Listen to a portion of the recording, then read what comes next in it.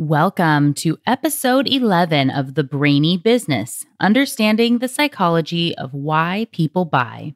This is the second Behavioral Economics Foundations episode dedicated to anchoring and adjustment. Ready? Let's get started. You are listening to the Brainy Business Podcast where we dig into the psychology of why people buy and help you incorporate behavioral economics into your business, making it more brain friendly. Now, here's your host, Melina Palmer. Hello, hello, hello, everyone. My name is Melina Palmer, and I want to welcome you to the Brainy Business Podcast. Before we jump right into the episode, I want to talk about some of the exciting things that have been happening recently. First, the podcast is continuing to grow in its reach. The first 10 episodes have already gotten nearly 2,300 downloads, and I'm pretty confident we'll be over 2,500 by the time this airs, which is just super exciting.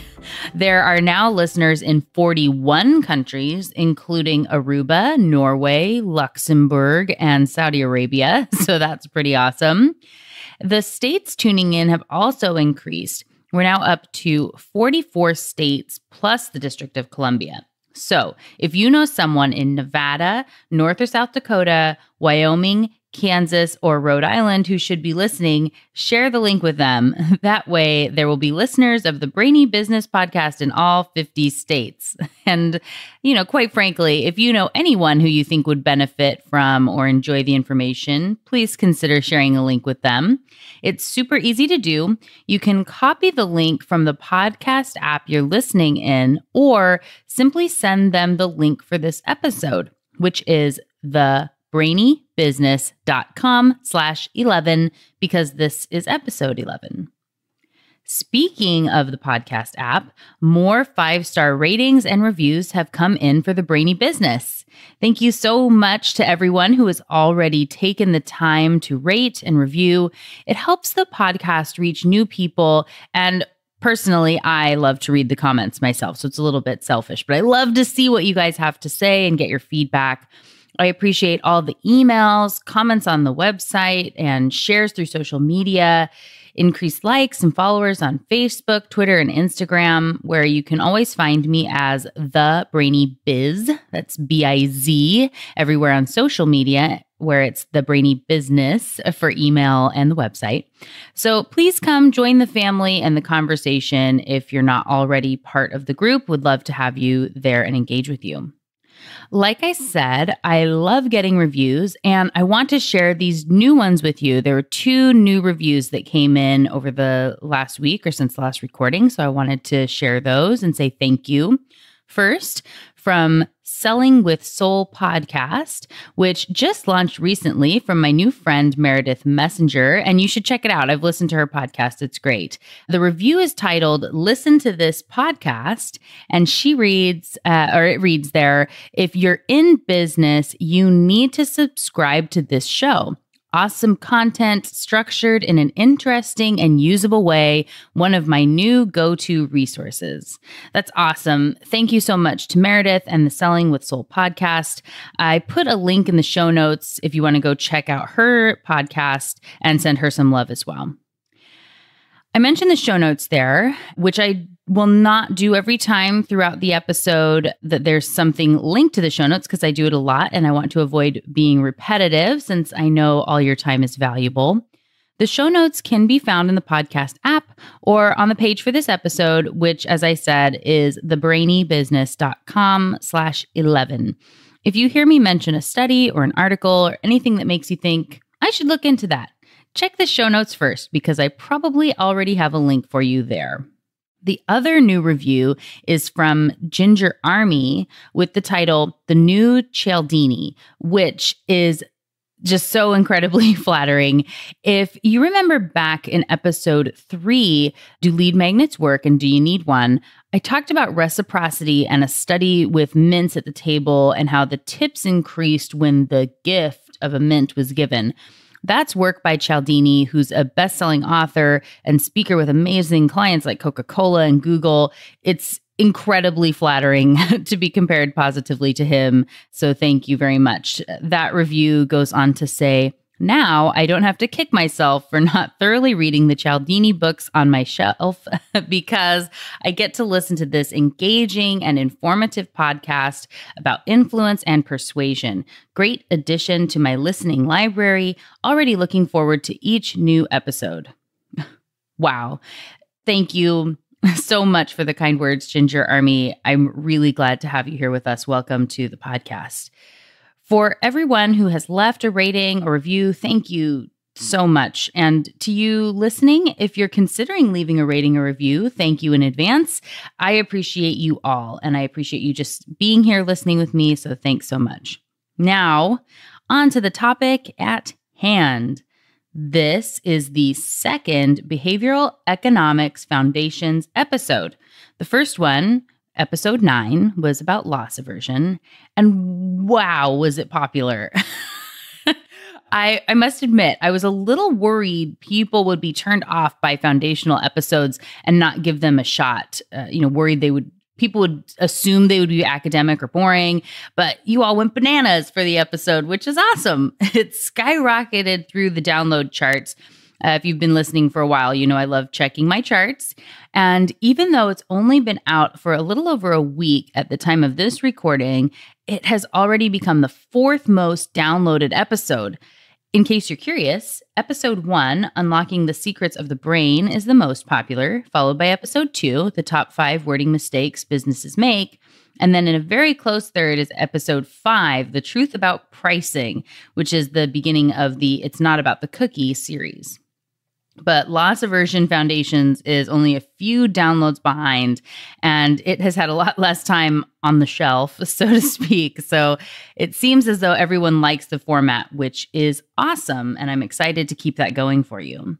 Hopefully, you will all have a similar reaction to this week's episode Behavioral Economics Foundations, Anchoring, and Adjustment.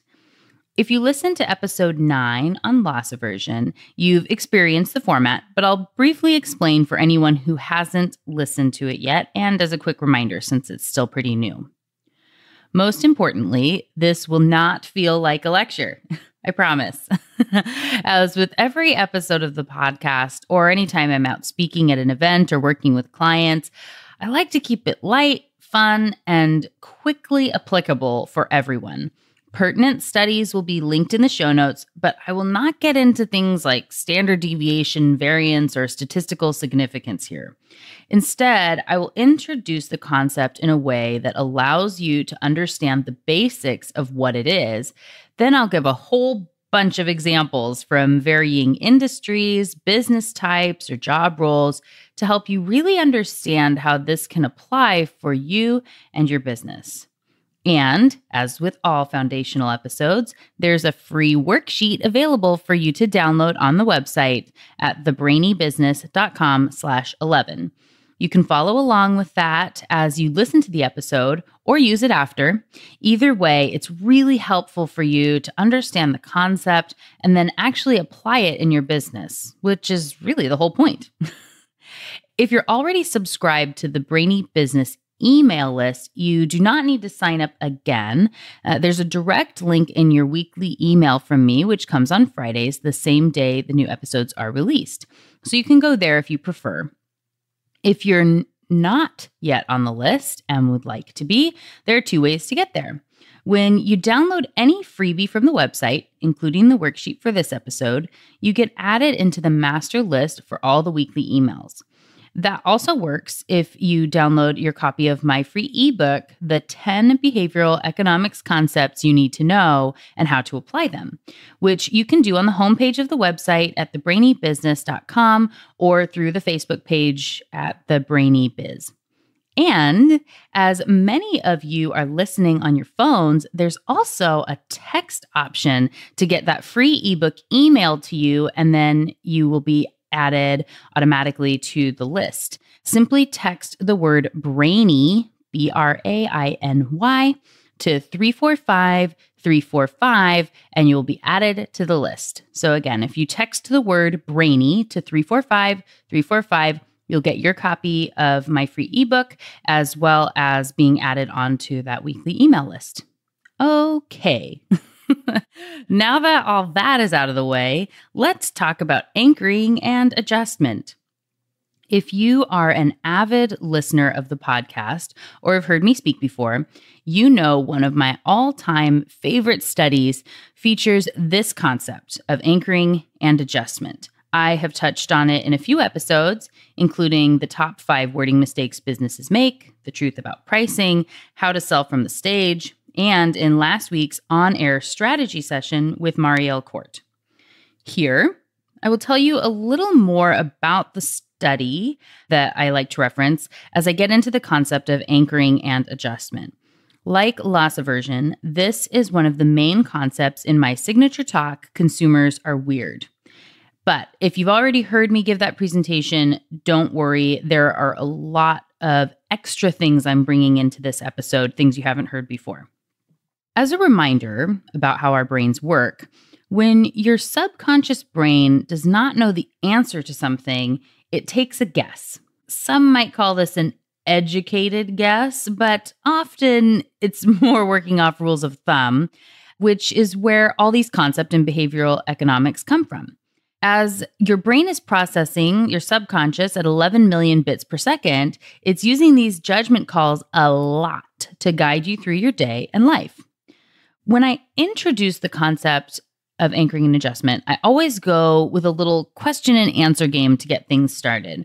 While I can't hear your responses, I'm going to go ahead and just ask you questions and know it should work the same. I'm trusting you not to Google the answer. Just go with your gut to get a feel for how this works. Okay, are you ready for the question? Are there more or less than 10,000 emperor penguins in Antarctica? And how many do you think there are? Do you have the number in your head? There are actually 595,000 emperor penguins in Antarctica. was your number a lot less than that? Or say I was to ask you, are there more or less than 1,000 countries in the world? How many do you think there are? There are 195 countries in the world. Was your number higher than that? What happened?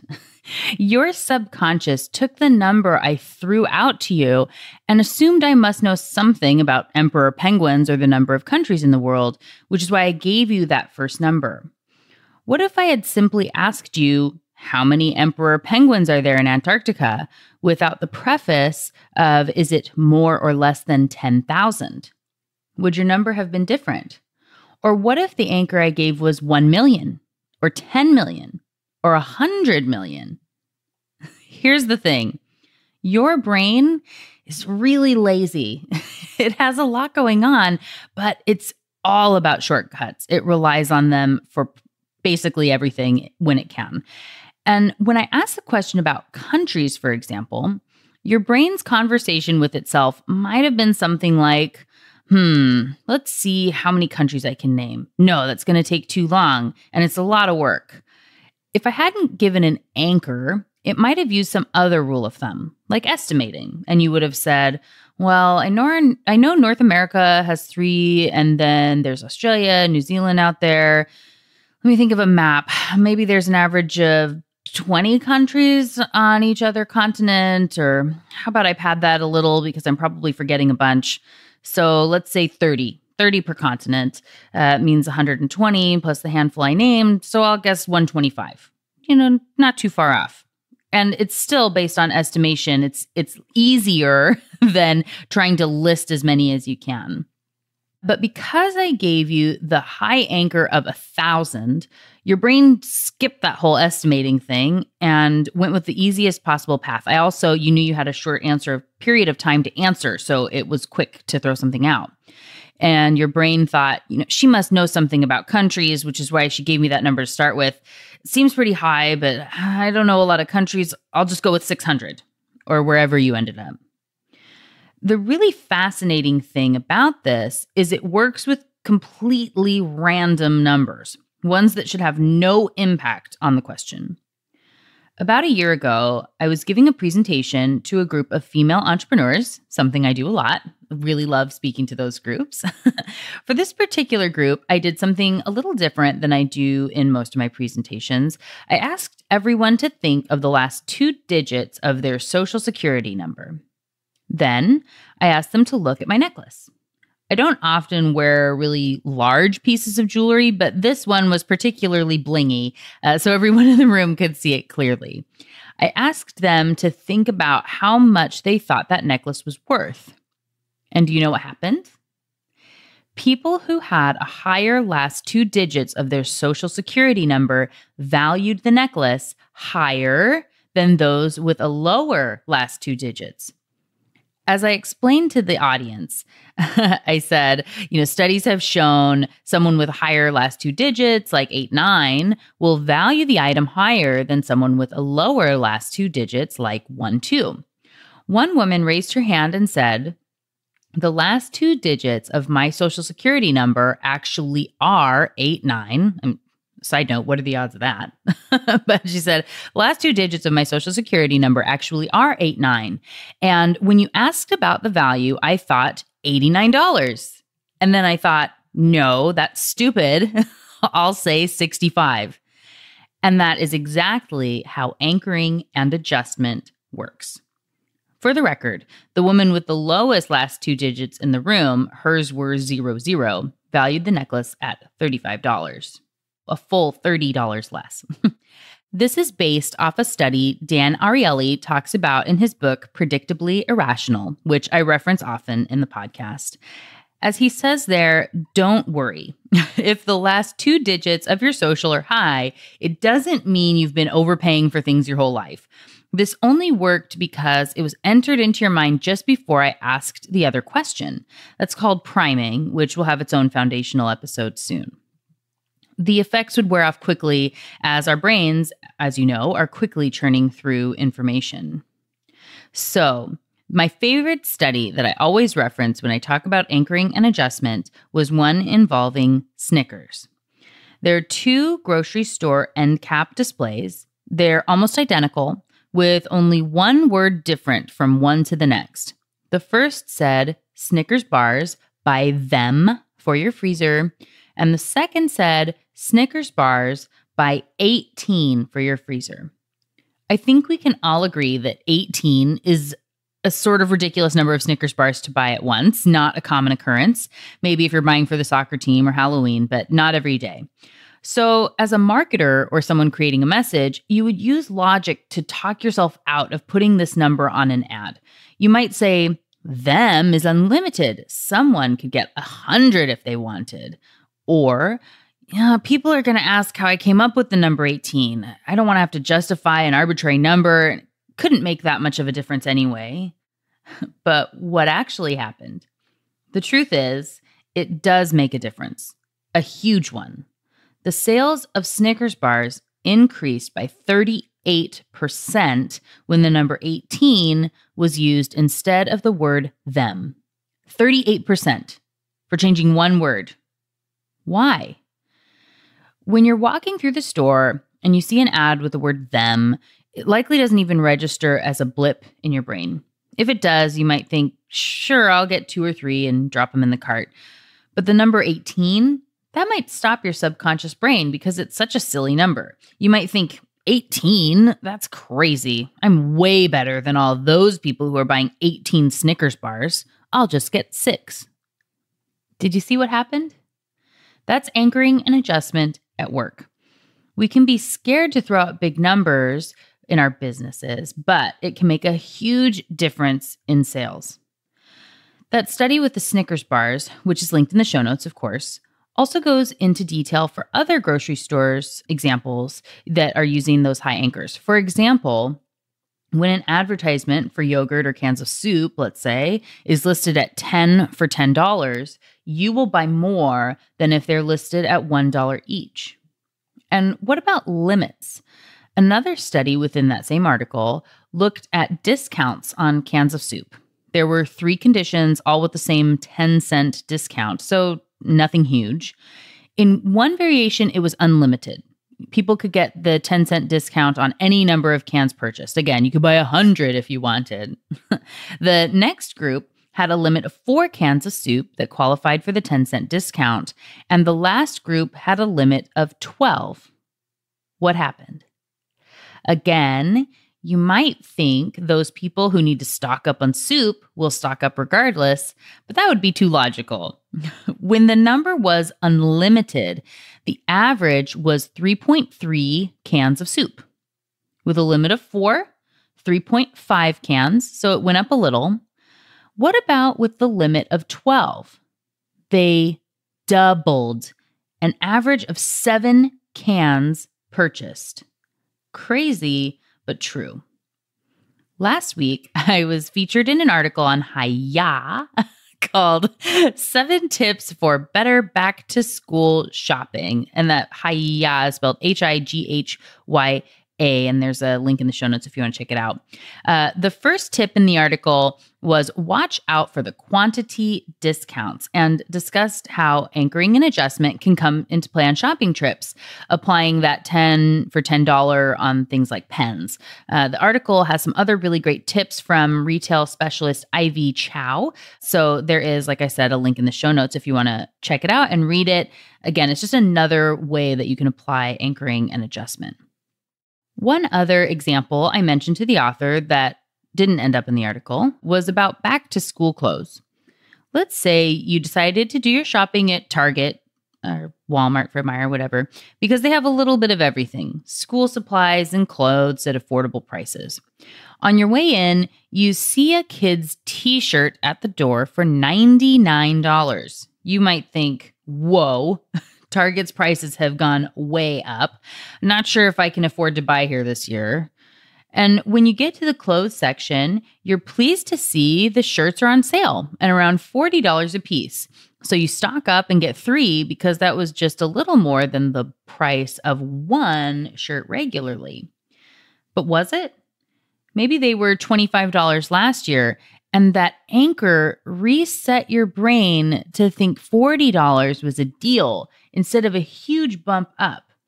They don't want you to buy the $99 shirt. I mean, they'd be happy if you did, I'm sure, but that isn't its purpose.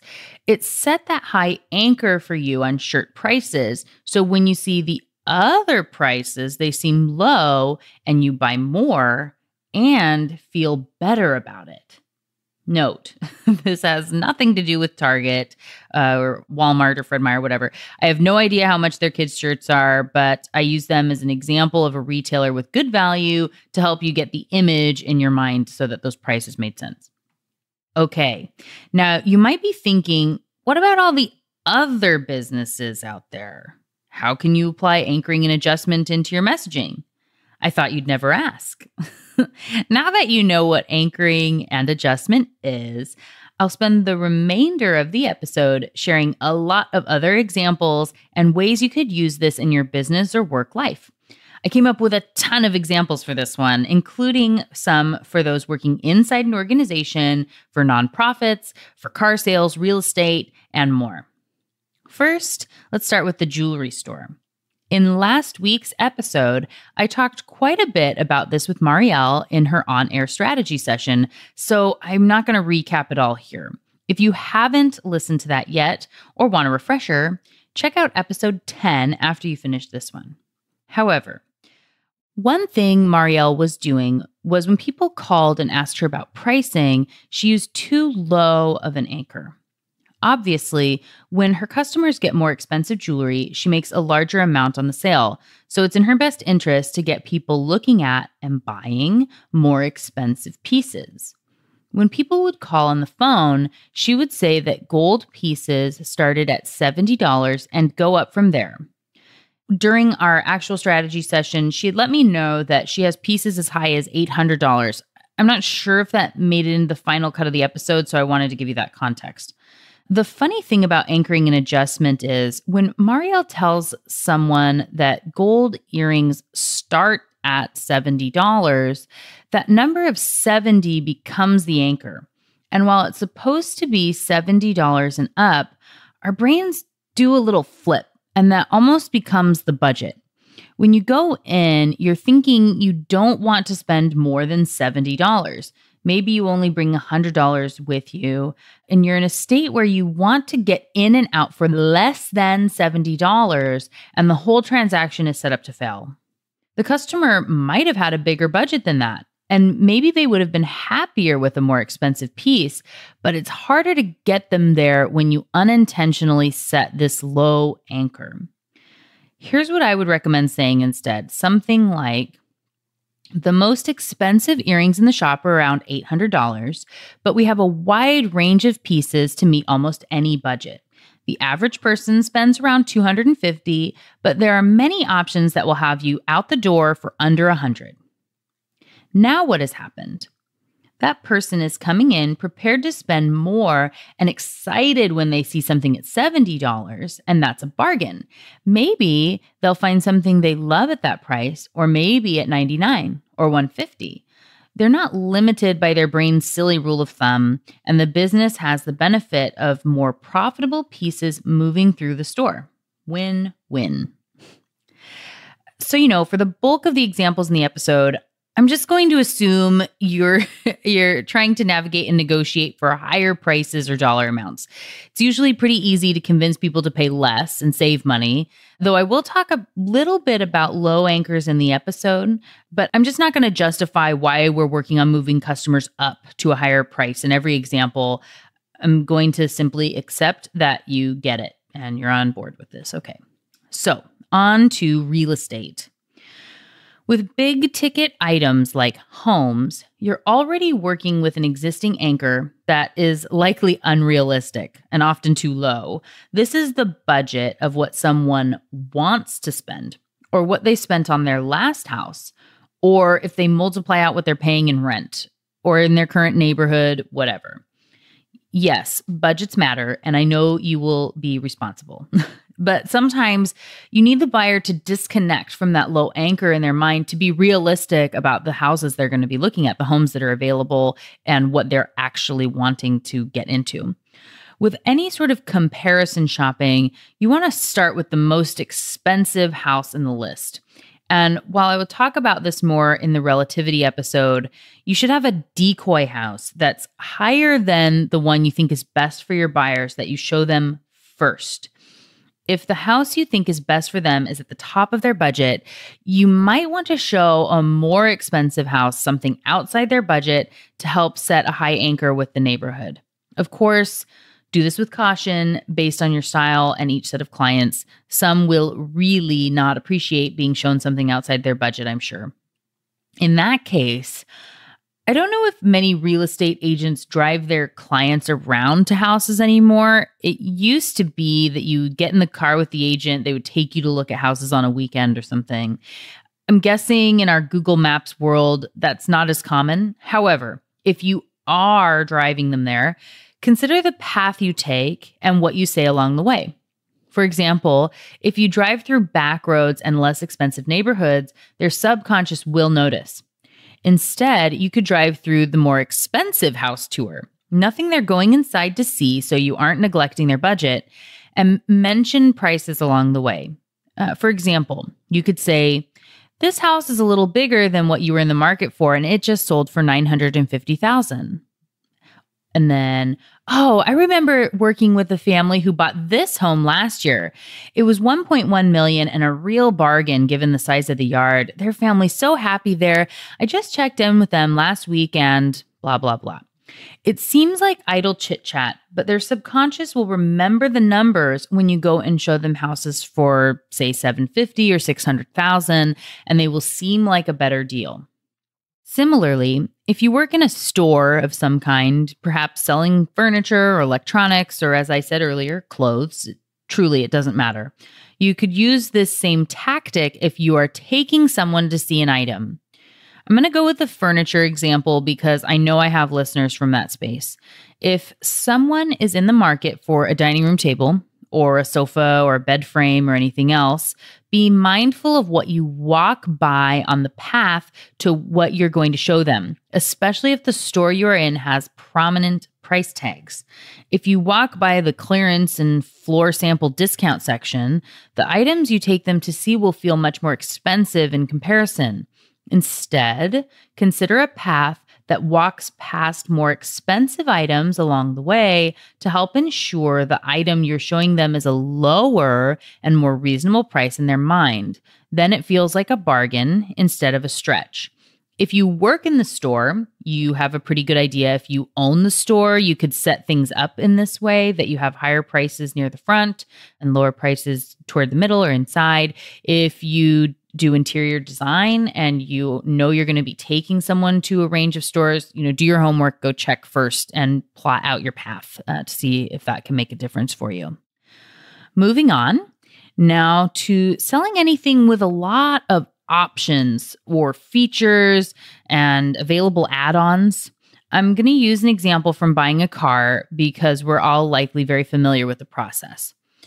There are two options to present a car to someone when they're buying it. First, uh, you can get say here's the baseline model and all the items you can add on to customize your car. Have fun, make it your own. then you have this big long list in a checkbox or something. I remember going through that once when I was buying a car. The other option would be here is the top of the line with all the features selected, or maybe 80% of them. Go ahead and remove or add anything, you know, remove anything you don't want, add anything that you do. Do you think people end up spending the same amount in both scenarios? Of course not. people will buy more expensive vehicles and packages when presented with the second option it has everything and remove what you don't want versus being asked to add things on. As a note, this incorporates some other concepts of behavioral economics, including defaults, perceived ownership, and loss aversion, but I will not dig into those concepts here as they will all have their own episodes. Obviously, loss aversion is already done. So, the lesson if you have bundled options and lots of features, price it out and present the big option and let people take away what they don't want. They'll end up with more than if they're picking a la carte. For those of you who work in multi level marketing or MLM, which is also called network marketing or referral marketing, I know your prices are often already set. So you might think this doesn't apply to you, but it does. For anyone who's unfamiliar with those terms, these would be all your friends who sell for Arbonne or Cabi or Scentsy or doTERRA. You know what I'm talking about. There are a lot of people selling the same products, and the prices are often set by corporate. So, what do you do when you do not control the price? For one, if there are multiple levels of an item, say two or three types of shampoo or warmers or sizes of oils or whatever, Make sure you present the most expensive one first and work your way down. Secondly, you can also incorporate bundles, something like a fresh face starter package or a whole home package, uh, which includes multiple items.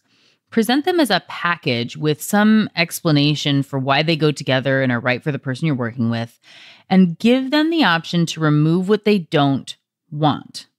They will likely buy more than if they're presented with everything as one off items. Speaking of bundles, I have a couple of super awesome examples from my next category service based businesses. This is for all the coaches and consultants out there. If you like the Facebook page or follow me on social media, remember I am the Brainy Biz on everything social. You have seen recently a couple of stories I shared of people implementing my advice on anchoring and adjustment and relativity.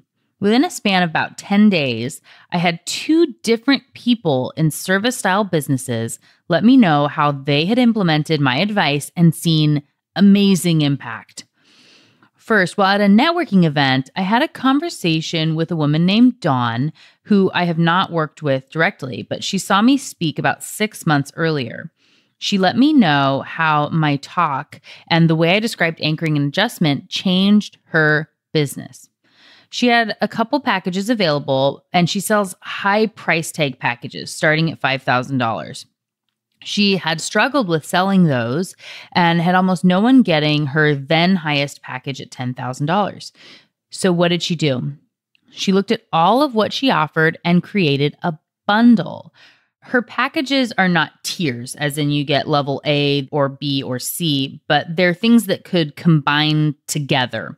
So she said to herself, if someone bought all three individually, it would be close to $25,000. I think it was 23 or something. I don't know exactly. So she decided to do a 20,000 bundle price if someone was to go ahead and buy all three together. Notice this did not cost her anything. She just changed the way that they were presented and added this extra layer. What happened? $10,000 packages are now flying out the door and so much easier for her to sell because the high anchor of the bundle price at $20,000 exists. So cool. Dawn was kind enough to do a live video with me at the event where we talked about this. You can go to the Brainy Biz page on Facebook to check it out. It's really cool. The second example was from someone who emailed me recently to let me know she had implemented my advice of creating a high anchor package in a similar fashion to what Dawn had done. She had always had two packages and was a little skeptical about adding a third because she was thinking it was needing to be a lower package because it wouldn't be worth her time. And for any of you out there listening, know that there's the other side too, right? You can add the high package like Dawn did. So she realized that she could incorporate a higher price point instead. Unlike Dawn, this person has more tiered pricing where you're picking one option of support or coaching packages, things like that. And so she had a couple of options between five and ten thousand dollars. So she threw in a twenty thousand dollar package which is more work for her, but totally worth it when you do relationship based service work. For any of you that do this, you know, having someone you're checking in with more regularly, it's just really a great experience when you can, the more that you're doing with people, the more benefit they get. So, this is great for her, great for the potential clients if anybody chooses that. She incorporated the offering and has already had someone take her up on that top package. How cool is that? I just love that these simple brain tricks, my advice, have helped these female entrepreneurs, small business owners to up their income and help more people without having to pay a bunch of money to build a program or write a class or a book or create a workshop. Those things take time. Uh, they were able to implement some simple anchoring and adjustment and relativity, which will be the focus of the next episode, and they saw the benefits immediately. Awesome, awesome, awesome. I just had to share with you. so now let's talk about all of you who work within a company of whatever size. One where you have an HR department, negotiate budgets each year, or maybe you're in the finance department. I know I have a lot of those people who are listening since I've spoken to some awesome CPA groups before. This applies to you too. First, for the job seekers, this is also an HR beware statement. I heard a study once and I've never been able to find it again, which makes me crazy. I think I heard it on the radio, but I've not found the source. So if you know what it is when after I share it, please please share it with me. Email me or or share it on Facebook. Anyway, the study had people go in and apply for jobs, and when HR asked how much they wanted to make, one group made an offhanded joke of $1 million, ha ha ha, and they all laughed and started talking about realistic numbers. It doesn't seem like this would or should impact that person's salary. If anything, uh, you know, I would think a joke like that would be off putting, but the people who made the joke actually got offered higher salaries than those who didn't. Again, because I've not been able to find the study, I don't know the exact numbers, but I've always found that to be fascinating. So beware of those big numbers when they get thrown out because they can impact you. Which brings me to the budget request. When I worked in the credit union, I oversaw the marketing budget and had to submit a request each year. I'm sure many of you have experience with that. And this can go both ways, both as the requester and the budget maker. And similar with any negotiation where they say the person who speaks first, the first person to put out a number, you know, you're essentially setting the new terms, right? So keep that in mind. In this example, I'm going to use this for the finance folks on that side, since, like I said, I know there are some of you listening. So let's say someone asks for a certain budget in the annual planning session. This is their anchor, but it also becomes yours if you're not prepared. Let's say if most departments get 100 to 200,000 and someone put down a request for 500,000, you might not think it would impact you, but in most cases, they'll end up with a higher than average budget because your brain will adjust down from that high point. In the reverse, if you're trying to cut budget, don't be afraid to suggest a low but realistic number when asking for someone to create their budget request. They will likely use this number as an anchor and come in lower on their request, even though they're going to adjust up. What about those travel or training requests? If you have to go to your boss and ask for budget for something, you can use this too. Similar to my two personal anecdotes, the stories from uh, just a minute ago, I also had someone reach out to me after a presentation to let me know how they had been able to use anchoring and adjustment to help make a case for a conference uh, that she wanted to attend that was a little more expensive than usual.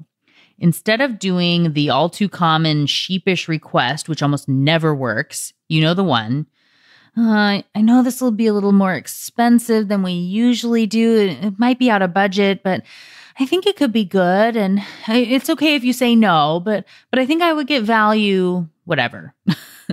Don't do that. Take the tips from our friend here. She used the anchoring and adjustment approach.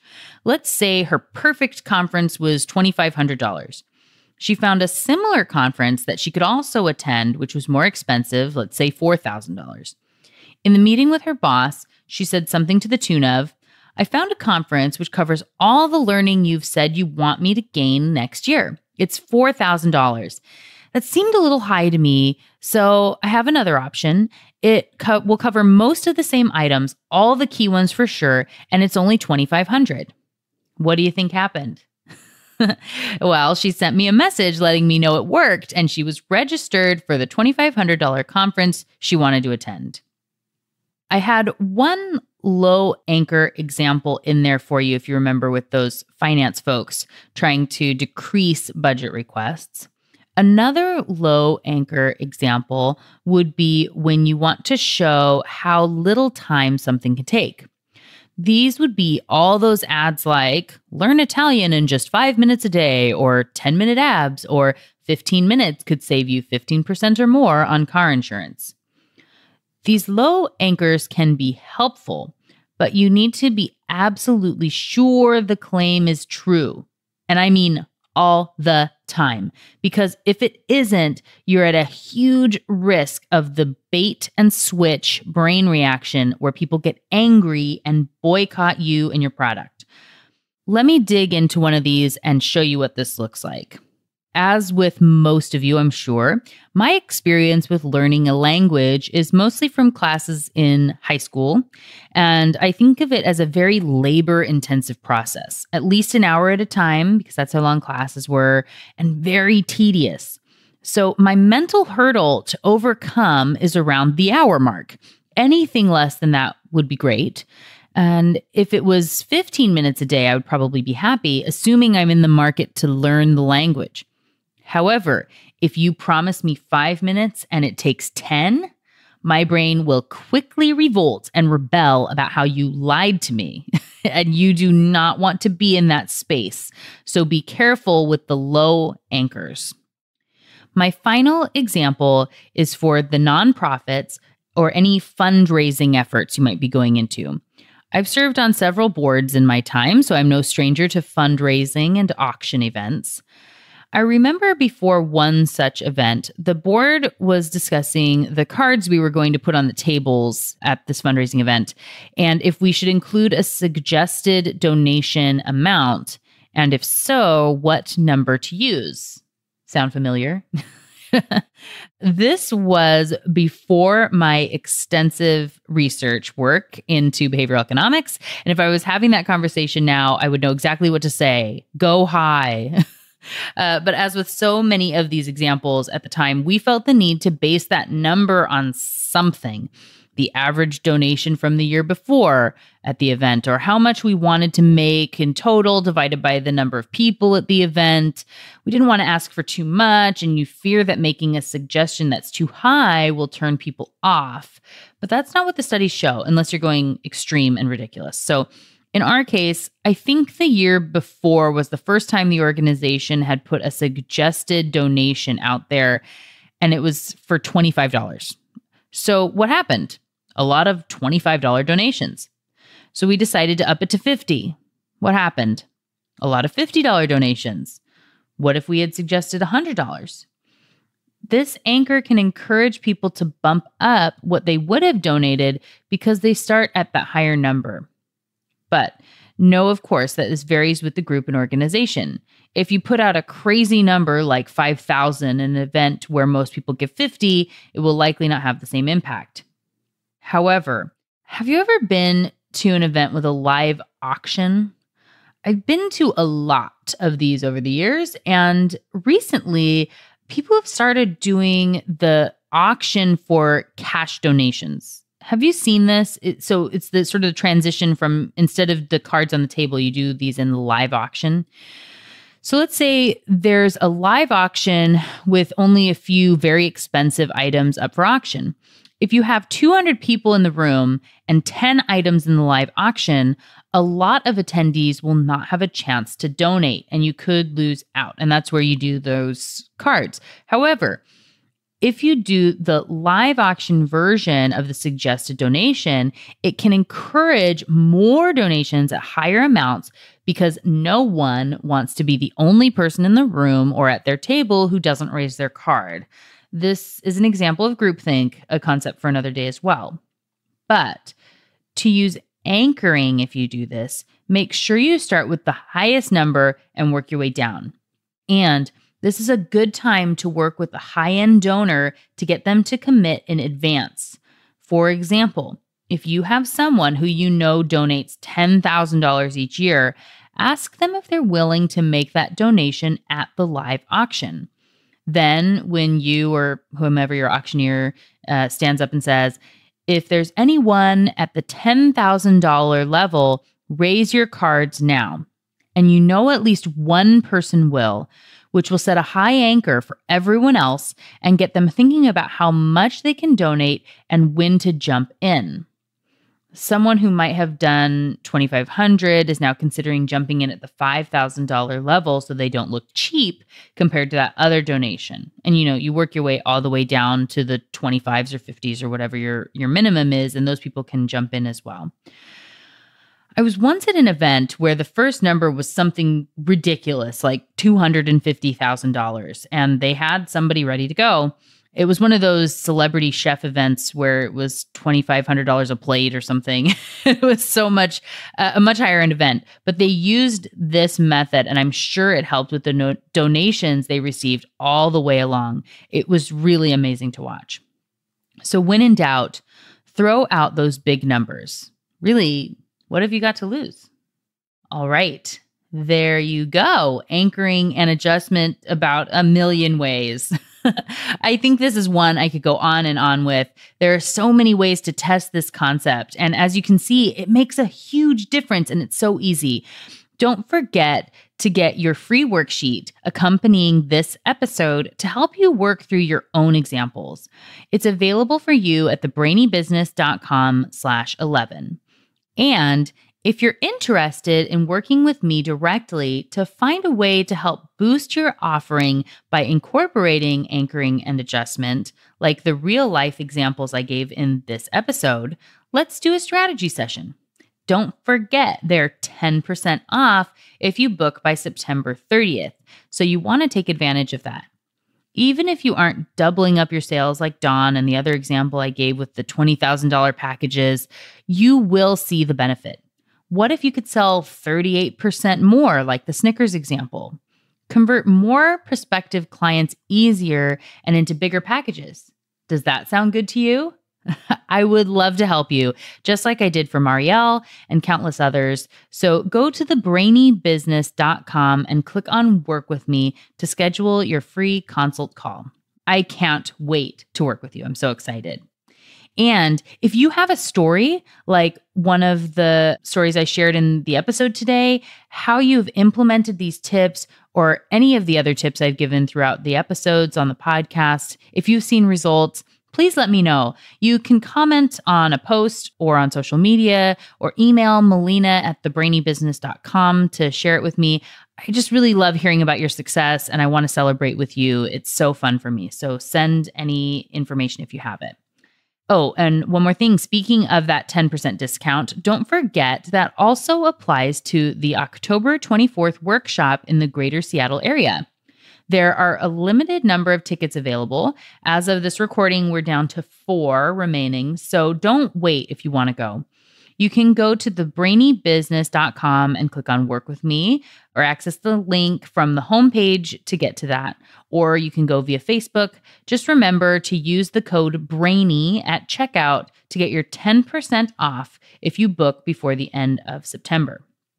One last announcement I have some trips coming up. And I wanted to let you all know where I will be in case you want to take advantage and schedule an in person session without the burden of travel expenses, which can be really big savings for you. In September, I will be in Little Rock, Arkansas. And in October, I'm traveling to Portland, Maine, not the Portland that's close to me. I do make it to Portland, Oregon all the time. So if anybody is there and wants to know, have me let you know when I'm going to be coming down, let me let me know that. So Portland, Maine in October, Little Rock, Arkansas in September for speaking engagements. If you're in those areas or close enough to get there, send an email to melina at thebrainybusiness.com. And if you know someone in one of those areas who you think might be interested, feel free to share the information with them as well. I hope I'm able to meet some of you while I'm traveling the country.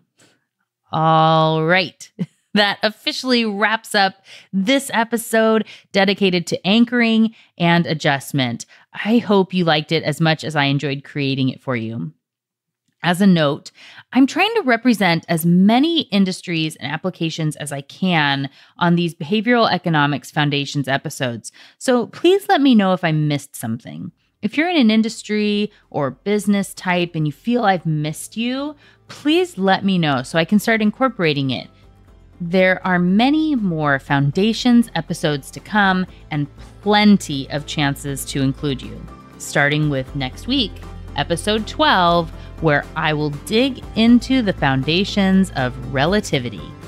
Until then, thanks again for listening and learning with me, and remember to be thoughtful. Thank you for listening to the Brainy Business Podcast. Melina offers virtual strategy sessions, workshops, and other services to help businesses be more brain friendly.